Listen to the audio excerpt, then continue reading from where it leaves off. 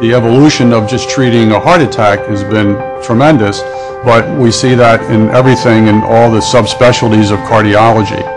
Ephrata Hospital is right online with that equipment and is very good at staying up with the technology and all the, the new modalities and treatment options. I don't think there's any other place that I would feel I had to go to get better care.